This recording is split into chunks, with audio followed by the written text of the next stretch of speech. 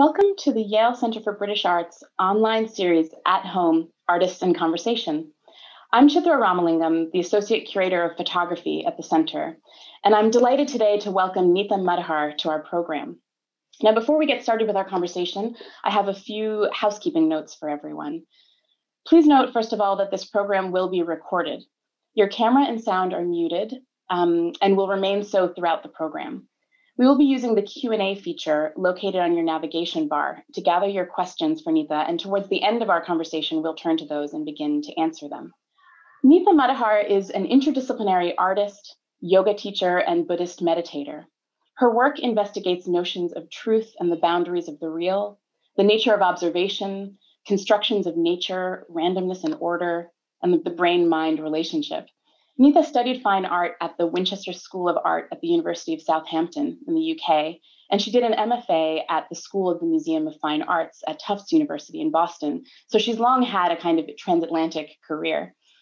Her work has been exhibited internationally, including at the National Science and Media Museum in the UK, the Kemper Museum of Contemporary Art in Kansas City, um, and just last year at the Yale Center for British Art. Her work is held in museums such as the Government Art Collection, and the Victoria and Albert Museum in the UK, the Fogg Museum at Harvard, the MIT Art Collection, as well as the Center, where we acquired her Flora series last year through a gift from the Joy of Giving Something Foundation. At that time, Neeta and I began to get to know each other, and since then we've had some wide-ranging conversations about her work and her practice, about the nature of collaboration, and about making space to breathe in tumultuous times. And today we're looking forward to continuing that conversation with all of you. Welcome, Neeta. Thank you so much for joining us today. Thank you, Chitra. Thank you very much for having me. And uh, thank you to um, the audience members for um, giving up an hour of their time to uh, joining in with the, the conversation that we're, we're going to have for this, this hour. So um, I really appreciate that. Thank you. Yeah, of course. So, should we just dive in? Um, I wanted to kind of begin in a what might be an unexpected place for many people who are familiar with your work. Um, so you have a long-standing interest in Indian miniature paintings. Um, and I thought that these two examples from the Ashmolean Museum in Oxford, which you sent me last month, might be a nice starting point. Many people think of you primarily as a photographer, but you know we've talked about how many of the themes and concerns and sort of preoccupations of your work can be teased out in talking about these two works. And so maybe you could just introduce us to them and tell us what you see in these and what they mean to you. Yeah, I guess in in some respects they they kind of bookend uh, bookend kind of the the the, the start of my, my my formal training as an artist and kind of where I've I've, I've ended up and currently doing doing lots of research. So.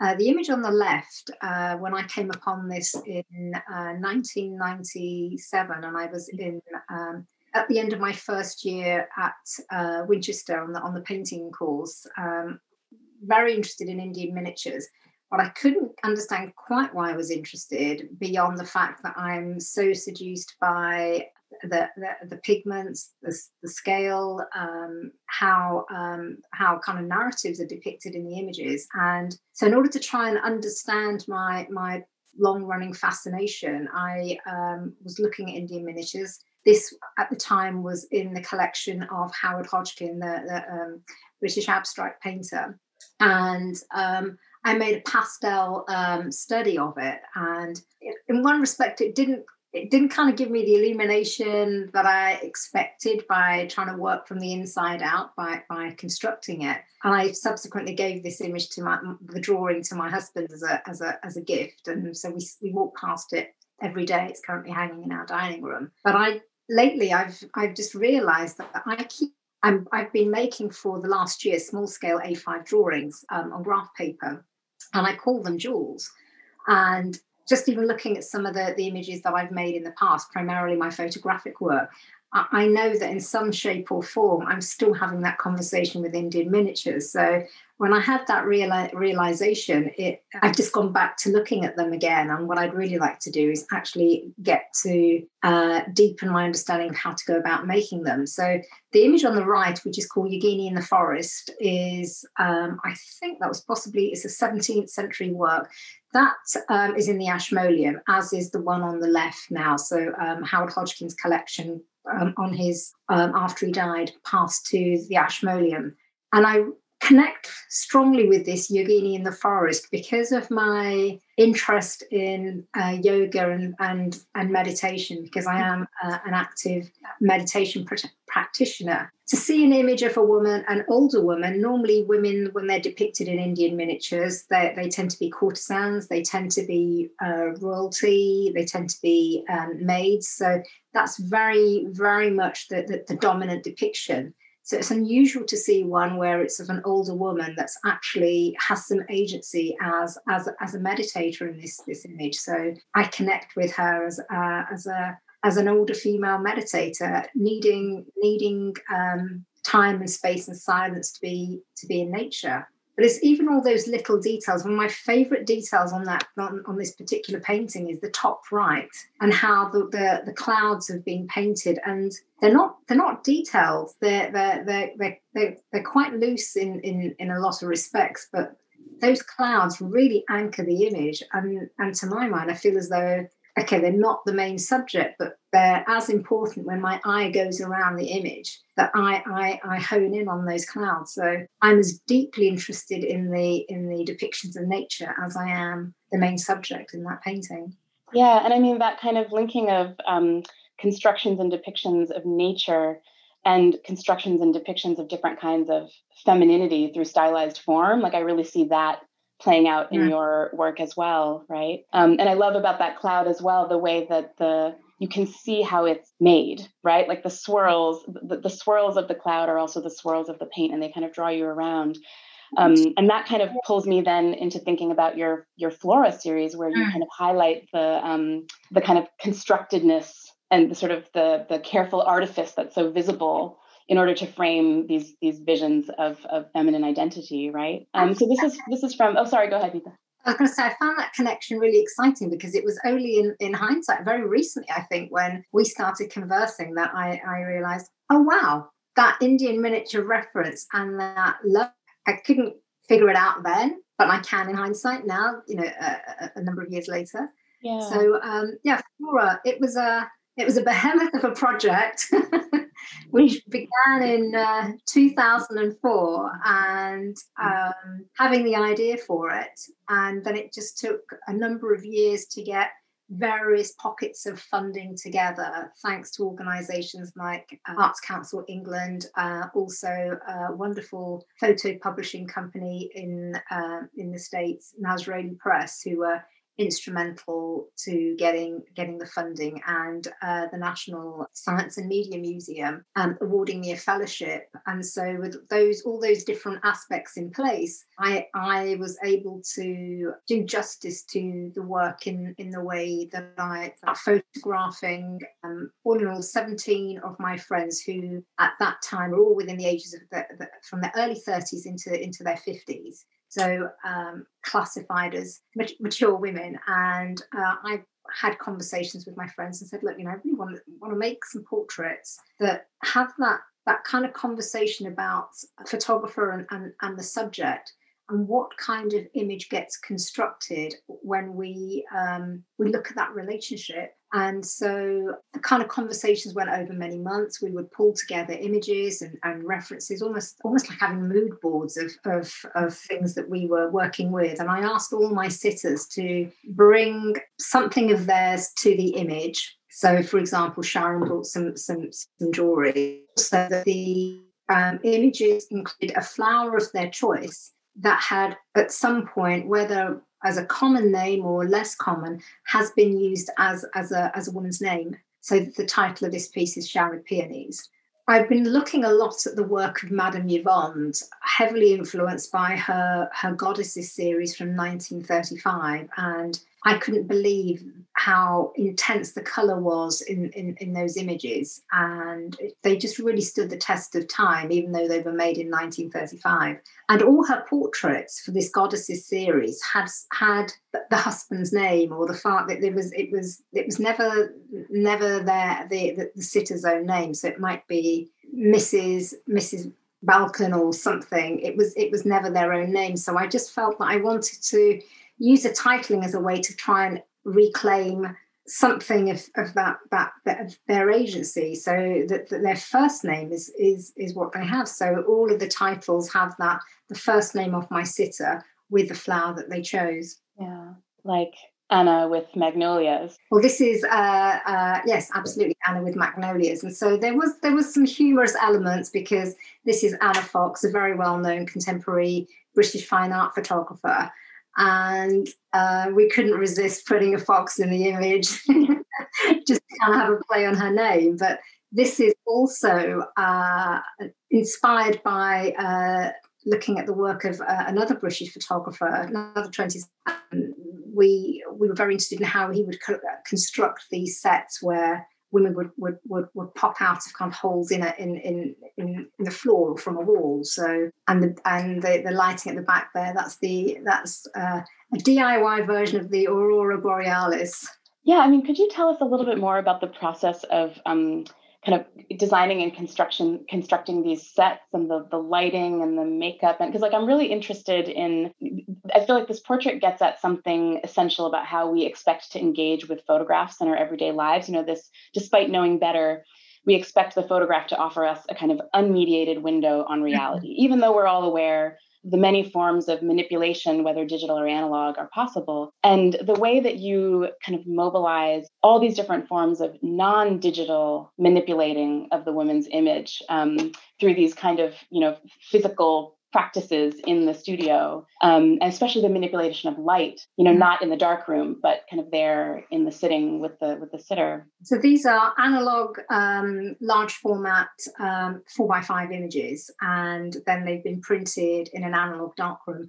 And that was very important to me um, conceptually for the project because, again, when you see mature skin, it's it's it's always digitized, and I just wanted to see what what could be done with using props and lighting and going through the analog process where you don't have that level of control for the degree of artifice that you can create because with digital you know I, I could have done anything. I wouldn't even needed to have been in the studio. It could have just all been elements, elements montage together. So that was very important to put a stake in the ground and say that that's one of the constraints I'm working with, that these are the most um, visually seductive images that can be made, working with the parameters of the, the sitters that are, are collaborating with me and using analog. And I'm in, fascinated by photography's relationship with truth as, as, as anyone. And you know, I sit there as as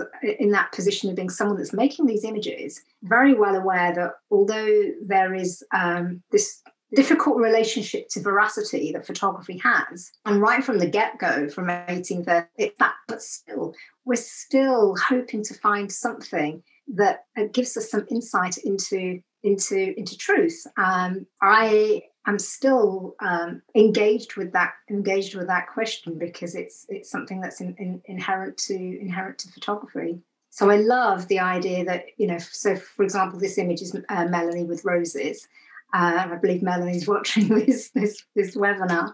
So Melanie's a, a, painter. So a lot of my friends are, are photographers, painters, writers in, in, in, in the creative world and this is a paint. The, the background is a is a canvas that uh, that Mel made, and um, she chose for that to be included in the image. And we were pushing against Manet's Olympia for this. That she has agency by the fact that she has she has the the, the paintbrush. And again, referencing Madame Yevonde, I like very much that kind of tension where you've got this beautiful, fantastical image, but yet you might see the hands of an assistant in the image, or you might see parts of what holds um, some of the props in place might be safety pins or or bits of string. So there's a there's a kind of craft element or a, or a kind of low art element in in the making of them. And again, it's that. But still, even though you can see those things and you can see those things quite openly, you can almost park that to one side and go, but I can still fall into this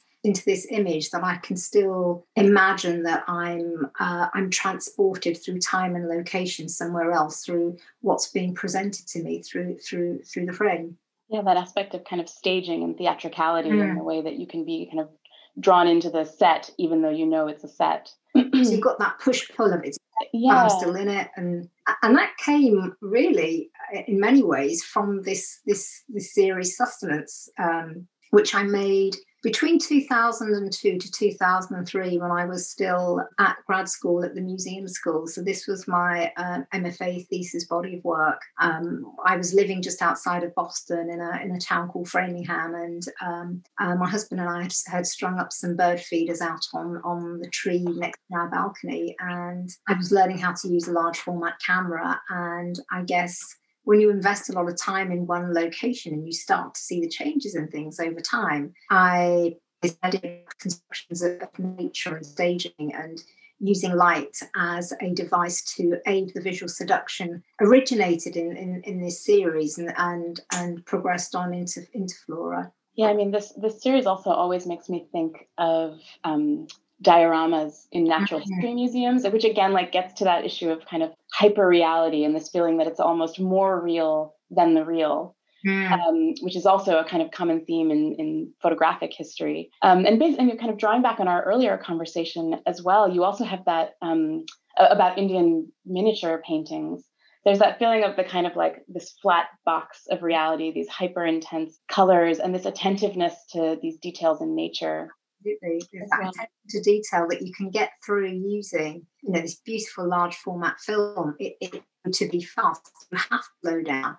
You have to be patient, but it rewards you with that detail. And as you say, just like uh, uh, in, Indian miniature painting, and I was very conscious of dioramas when I was making this. I mean, I love them, and I I find them fascinating that you could be in a in a essentially a six foot wide vitrine, say, and you've got this compression of time and you've got compression of location that um, uh, flora and fauna that wouldn't ordinarily have, have, have you know, they might have been uh, a few million years apart. Suddenly they're in a retreat together. So there is some kind of cons- constructed uh, knowledge that's being that's being offered to us. And again, it's that. And yet, I know that this is construction, but still, there's something about this that's that's deeply engaging and um, initiating a whole a whole set of thoughts. Yeah, and there's many there's sort of multiple time scales at play as well because you're also sort of you know tracking the changing of the seasons and the falling of the leaves and this sort of like the same spot returning to it again and again and again with a kind of attentiveness to whatever might present itself right? The temporality is embedded. I mean, you know, again, one of the kind of tropes with photography is is is time, and you have that frozen moment. But when you can see a series of images, and it's it's it's more or less the same scene, and you you you you get to kind of see the kind of changes in season. You get to see the changes in the kinds of mm. creatures that are coming, or the changes in in. The, so there's a conversation that's happening with um, shifts in time, shifts in time, and shifts in space I just wanted people to be able to see the, the scale of these as well, because obviously that's something that's hard to, to grapple with when you're just looking at a, a slideshow. But if I understand right from you, because I've never seen these in person, um, but they're printed on a kind of watercolor paper, right? So they also have they're a. Printed um, on, they're printed on Somerset velvet paper, and they're a, they're slightly larger than life size. Again, intentional because I wanted that idea that I didn't want them to be so so small, operating like a, a miniature would, in the sense of the scale or so gargantuan that they uh, they become overwhelming. I wanted there to be almost a one-to-one parity with the human scale that one could feel one was tumbling into the frame. And I wanted the texture of the paper to, to be something that's tangible, that on one level, yes, you're looking at an image, but on another level, you're also aware of the surface of that the, the image as well, so that you've got that kind of dual that dual awareness as well thinking back to what you were just saying earlier about photography and time, your Falling series from 2005 is a really interesting way of. Well, I mean, I'd love to hear you talk about it, but just my my immediate thought that I wanted to share now was that there's there's another kind of reductive truism about photography that it freezes a single moment in time exactly as it is then and then archives it forever. And one of the things that I love about this series is how it kind of flips that assumption inside out because you're returning to this experiential, fleeting childhood memory and then creating a series of possible moments where you can kind of open up a durational space that is not just momentary. I mean, you sense the kind of movement and time that's passed even in this one shot, like with the, or you wouldn't be able to see the blurry helicopter there, right, with the sycamore seeds. So maybe tell us a little bit about about this series and and how it arose. Uh, again, I I'd say I think at about the time you know when sustenance when I was making sustenance, and you know this actually is a, a really good point as well that we can talk about bodies of work in a very kind of clean chronological way, but really it's a lot rougher and a lot more messy idea that's production. I tend to work on two or three different things at the same time so that I don't get too caught up and, and, and, and too tight with one thing. And things take um, a, a, different different times to kind of get going or, or, or stall. So falling was uh, was a was an idea that was incubating when I was uh, on my way to, to moving back to the UK, and, and I I do think a lot about childhood memories or childhood experiences, how how something felt, and it was that sense of wonder, but also that sense of of loss, of not being able to really experience something as I would want to experience it. Was I able to control every element of of nature. And so you're seeing these sycamore seeds mid-flight that haven't quite landed. You haven't quite seen where they, they've they've come from. So it's a moment of possibility, that kind of in between. And I was talking recently to somebody about the notion of falling and how that can be seen as a, a destabilizing place to be. But actually, if you can become comfortable with falling, that actually brings you a sense of stability. Possibly not articulating it well but it is something from a, from a philosophical uh, a philosophical dimension an eastern philosophical dimension about how to be at one with a sense of instability. And if you think about it we're all on a gigantic gigantic lump of rock and flying through uh, in an orbit through in, in, in the universe. And when you can't think of it like that you think hmm doesn't seem like we're that stable really yeah, so we are always falling. yeah, and I can and I can see this is where I see your your identity as well as a um, a kind of meditation instructor and a practitioner of yoga as being such a I don't know it's so deeply embedded in in these pieces this this sense of kind of cultivating a way of being you know opening up a space within a moment and and mm-hmm. and being open to the possibility of being with the change following the change you know, kind of drifting with it and not fighting it. You know, and I wasn't conscious at the time, Chitra, when I was making these things. Um, my meditation practice was of a particular type. I was practice. I, I I wasn't serious about yoga. I wasn't serious about meditation. That came some years later for that to be a, a, very kind of important part of you know who I say that that I am. You know, I don't ever just say anymore that I'm an artist. I don't ever just say I'm I'm a a yoga practitioner and teacher or, or, or, or, a, or a meditator you know they're all they're all very um, important ways for me to engage and connect and uh, wonderful to have the insight that i could come back to look at this work from the perspective of having a deeper engagement with meditation and yoga to be able to reframe and re-articulate this work using a, a, a, language that I hadn't used before. It doesn't detract from the way that I used to articulate these works, but I have a richer vocabulary now because of because of that that very practical engagement with yoga and that very practical engagement with meditation and that the, you can't just stay in your head it's very important to acknowledge the importance of the body in terms of getting some an understanding of the, the uh, an understanding of, of how things are how reality is yeah, I mean, there's also a, a kind of clearly a very um, explicit engagement with some of the kind of early and powerful images from the from, from the earliest years of photography, right? For you, this is an example of an early um, photogram uh, made by William Henry Fox Talbot, one of the one of the inventors of, of, of the photographic processes. This piece stopped me in my tracks when I first saw it in the Talbot archive at the British Library, and when I came across your Falling series, I thought of it immediately. And um, you told me recently that the Falling series is also meant it doesn't have a single orientation, right? It's that each of them has been each of those um, shots has been chosen so that it can be oriented in any way, um, and that also is a it kind of interestingly harkens back to the early history of the medium, where from a moment in photo history, the 1840s, when photographs were displayed not hung on a wall but kind of um, arranged on a table mm. horizontally for people to kind of walk around and view from different angles.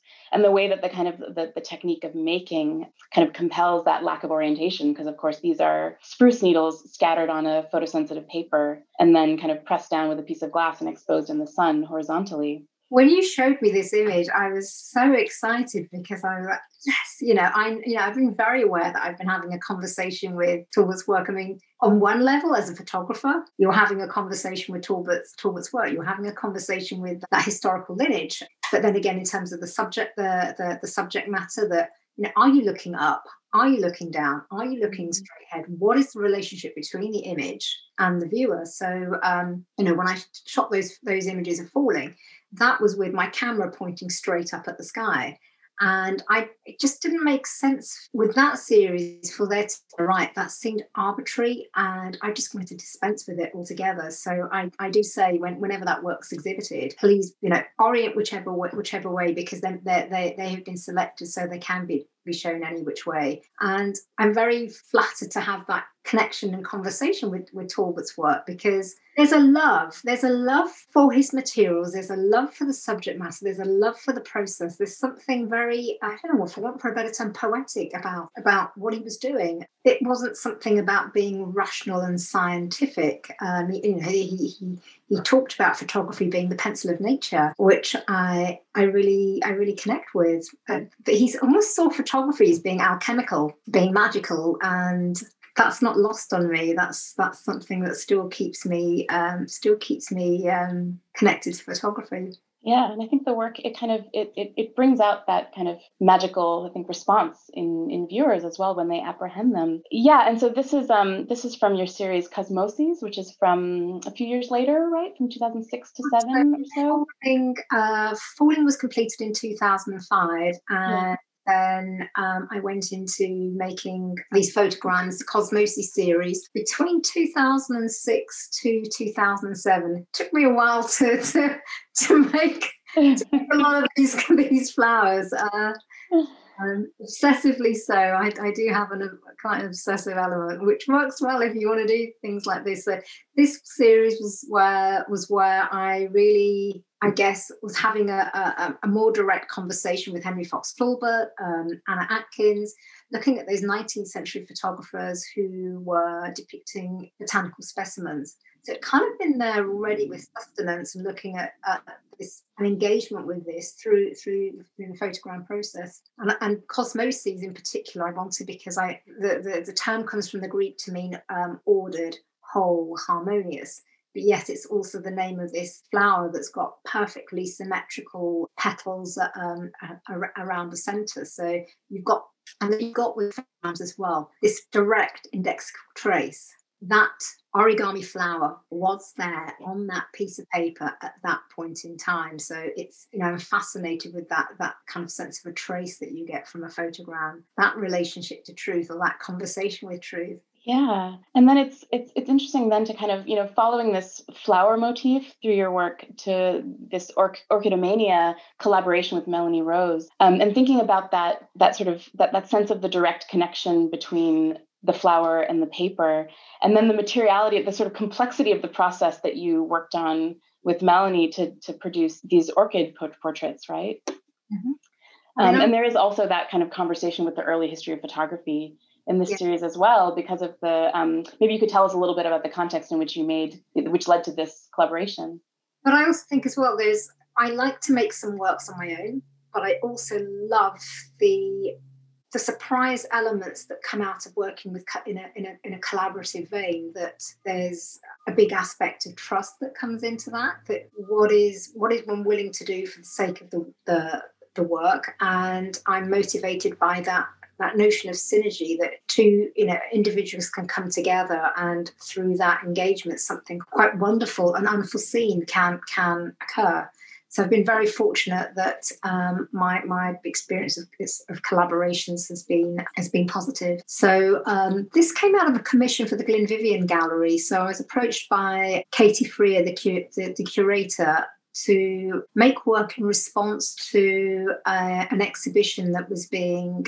planned called A Moon and a Smile. And it was a wonderful commission. Very loosely, the idea was to make some work that in some shape or form references the, the life and work of a gentleman Victorian botanical photographer John Dillwyn Llewelyn. And so along with a, and, and this was open to um, female artists. So we all went and and spent a couple of days having a look at some archives of John Dillwyn Llewelyn's work as well as actually going to see where his house was. And uh, Mel and I were fascinated at the ruins of a, an orchid house that were on the grounds.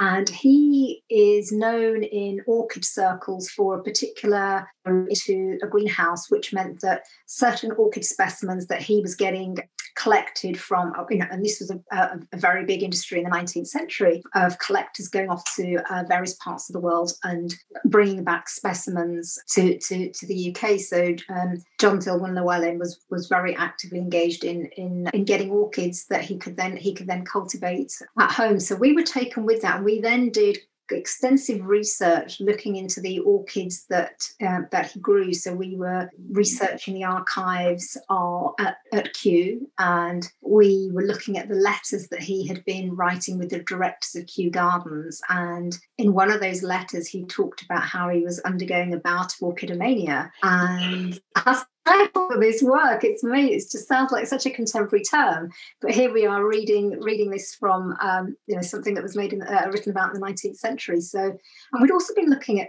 an old technique called cliché verre, which in a way combines elements of drawing and painting and photography, and that appealed to us because with Mel being a painter, and I have never considered myself strictly as a as a photographer. I I, I like to I like to make work and whatever whatever medium suits the idea that I want the idea that I have I'm I'm I'm that's that's what I want to use. So we did quite a bit of experimenting and we we got JPEGs of, as, as, as far as we were able to track the orchids that we knew that um, John Dillwyn Llewelyn had grown we then found images online of those flowers and a certain number of them because we, we were working towards a, a commission deadline we then made negative and positive images on, on acetate. So we made ones that were small enough to actually put into a dark um, a darkroom enlarger and then we made acetates that were about just just under 16 by 12 so that that would be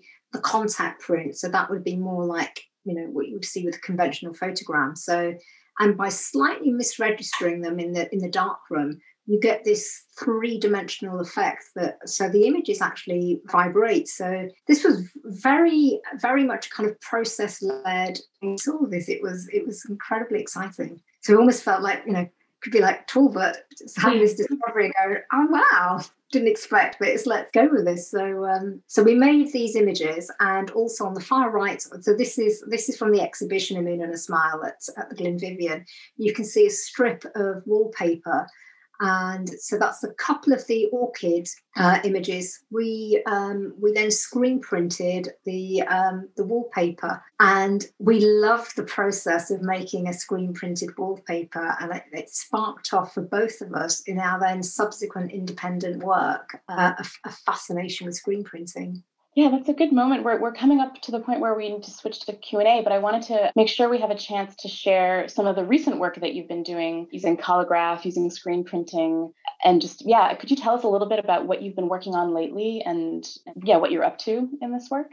I feel like I've I've gone back to pick up some strands of things that I was engaged with that I loved that I just haven't been back to in a long time. And many, many, many years ago, when I was delving into printmaking, the two aspects of printmaking I, I really loved were screen printing and making collagraphs.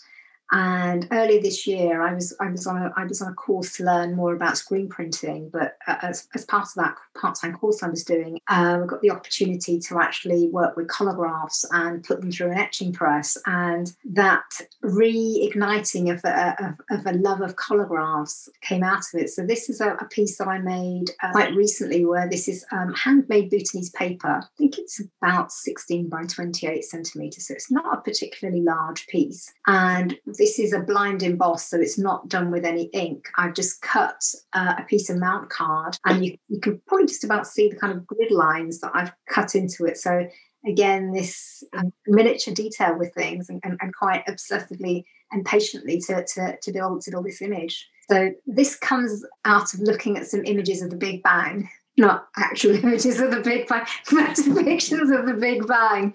So it's inspired by this gargantuan cosmic occurrence, and it's. I'm, I'm going to make a few more of these. These, these. It was the, the idea that these perfect forms, these equilateral triangles, have come out of this. That they're every, everything that exists, uh, practical and theoretical. There isn't anything that exists that hasn't come out of that the Big Bang, including these perfect forms. So I will be making some more so we've got a lot of questions lined up here, Neeta. I know we have a couple more works in progress to show, but maybe hopefully I can kind of get to them as part of the Q&A. So you mentioned collage a moment ago, and um, one of our listeners asks or, or, or, observes that the photographs have almost a feel of collage, given the colors and the compositions, and they want to know if that was intentional. I'm interested in collage. So, you know, collagraphy has that reference to collage. So um, yeah, I'm, I'm, I'm very definitely interested in that. I went to see an exhibition, an amazing exhibition actually last year in Edinburgh called 400 Years of Cut and Paste. Just one of the, just an amazing exhibition all about collage history. So I came away creatively fed by that. So at some point,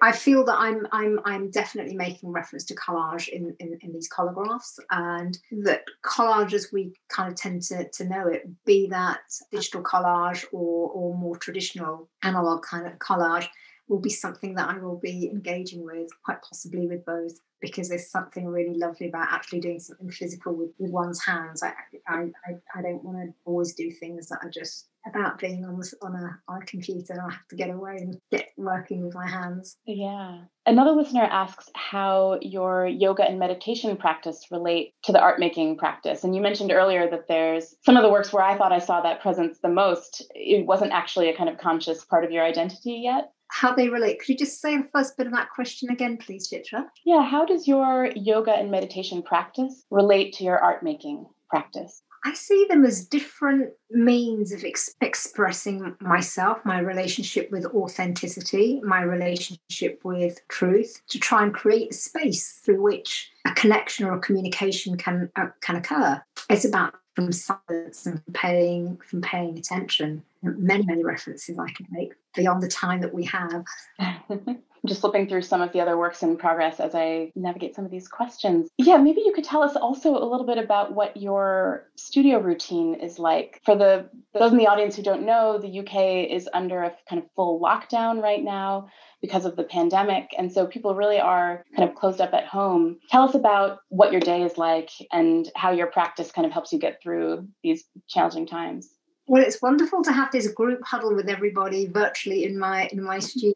So this is this is my creative hub. This is with my work. So I don't I don't have a set routine, but what I like about the fact that my studio is at the bottom of the garden is that if I've got 30 minutes or I've got an hour or I've got you know a, a larger tract of time, then I can come in here I've always got some work out so that when I come back in again, I can jump back straight into it. So I, I, I, always leave my studio with something still in still in progress. And as I was saying before, I don't tend to work on just one thing at, at a time. So I am messing about with things photographic. I'm making these I've been making these grid drawings uh, for the past year. And I'm excited to see how they've been evolving, and they've actually been, I think, the thing that really made me go, "Oh, Indian miniatures again." The the the, the detail and the making of the collagraphs is is what for this particular piece called Exuberance is where I introduced cutting into the paper. So I'm certainly going to. I'm, I'm, in the process of making some more that have got the pieces of uh, pieces cut out of the cut out of the drawings. So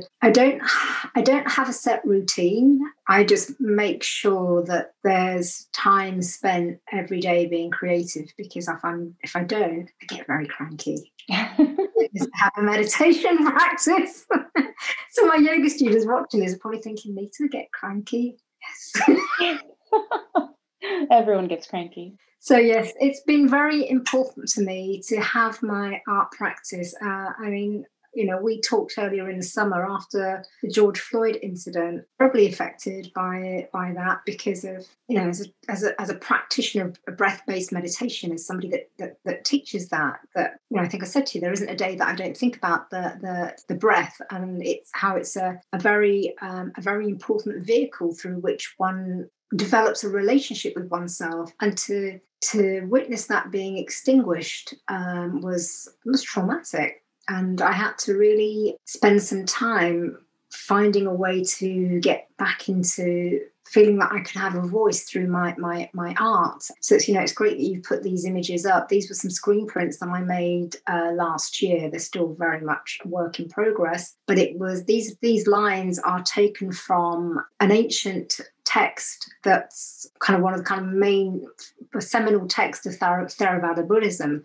And it's 16 lines that talk about the mindfulness of breathing. So breathing aware of pleasure, breathe out aware of pleasure, breathe in a short breath, breathe out a, sh- uh, a short breath. So I'm just excited about a way of, of, of, creating this connection between my meditation practice, the breath based meditation practice, and how that comes out through making these screen printed posters. So yes, working for it's still something I I I, uh, I intend to, to to put some time and energy into when we get beyond lockdown.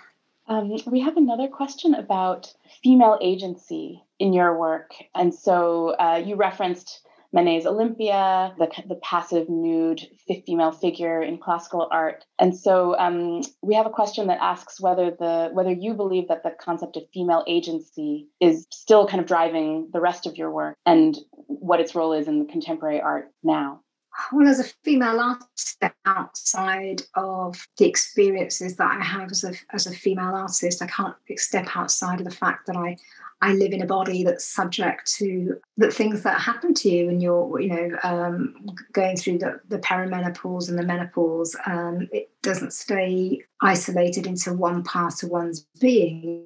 So all being therefore how one interacts with everybody and, and everything. So i you know in flora for me it was something that i wanted to examine overtly and also the conversations that i had with my friends at the time about feeling uh, off to the side because you're no longer you're no longer in your 20s and it's something you know that i'm i'm, I'm aware of with i can't remember that point where i noticed you know that you would get looked at or you would get whistled at uh, and I was always uncomfortable with it. And now it's you know I notice I don't get looked at. I find that quite liberating actually. But you know, there's a point in time where that happens, and you think that's kind of really interesting. How do you you know?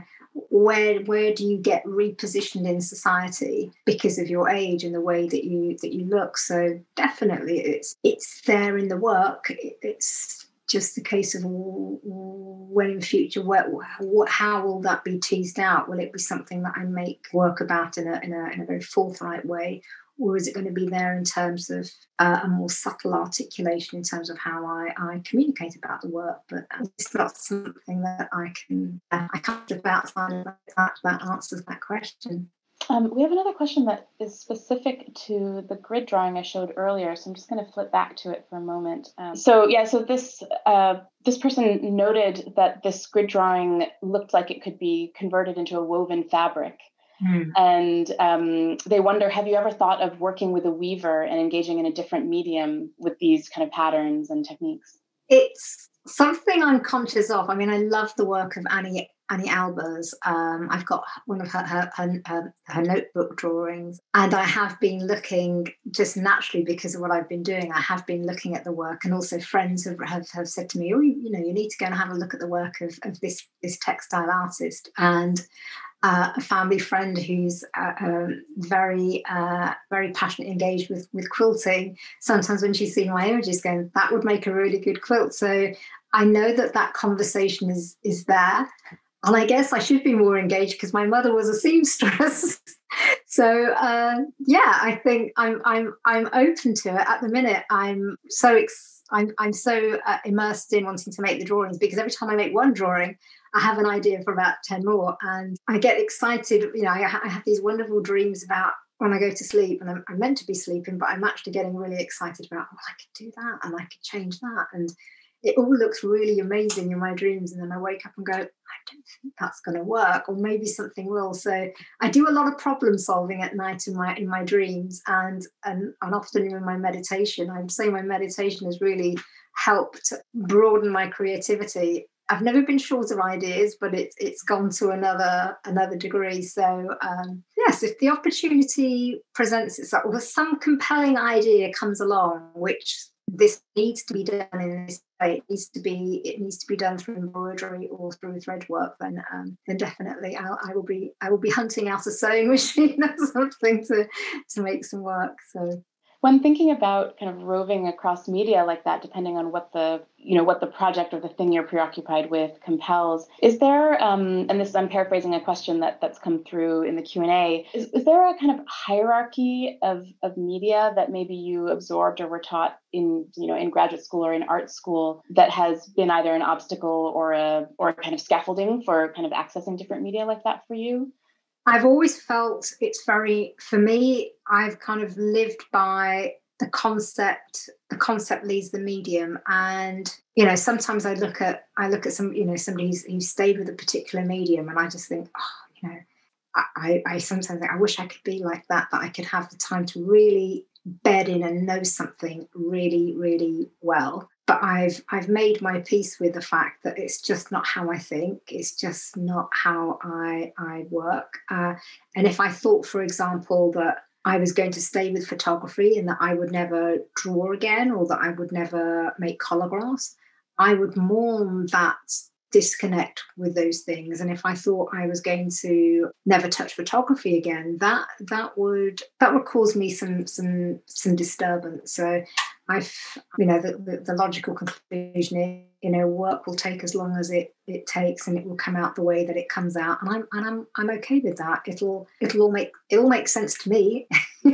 It'll all make you know it, you know hopefully it will make sense to, to, to others in the full in the fullness of time. I got i got known as a photographer because of that sustenance series when i was I, when that was finished and went out into the world. It's a series that opened up a lot of doors and a lot of opportunities for me. And i'm very grateful for that but the other side of that has been that yes, I have sometimes been pigeonholed as a photographer, and yeah, I just don't see that as being kind of really relevant to what I what, what I do. And if I've got a, a good, compelling idea to make some photographs, I will do that as I will draw. And, and in fact, you know, I was making grid drawings when I was at the museum school. I was making them in, in around about 2001, 2002. It's just that I got to a point halfway through my, my grad program where I had to make a decision about making a cohesive body of work for my thesis show. So I kind of had to choose between the drawings I was making and the sustenance series. And so I, I, opted for the sustenance series. But that unfinished engagement, that unfinished conversation I had with that work, it's been fantastic to come back to that and go just to kind of pick up from where I I don't want to quite say pick up from where I left off because I haven't, because I've had all this experience of all these other things that I've done, but pick up from that that love and that thrill and that that absorption in in in the ideas that I was engaged with and find them loop back to that fascination that I've had with Indian miniatures, which I really want to delve into more deeply.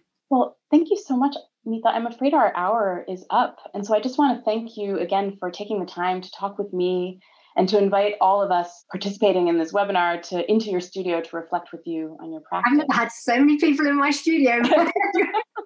And I want to thank especially all of our viewers as well um, for your thoughtful questions and engagement with Neeta's work. Before we go, I just like to remind everyone that um, the Center's next online artist conversation will be on Friday, December 4th at 12 p.m. Eastern Time with artist Tony Foster in conversation with Duncan Robinson, who's the former director at the Center and, and the Fitzwilliam Museum in the University of Cambridge. So thank you to Neetha, thank you to everyone, and we'll see you all soon. Thank you, Chitra. Thank you, everybody.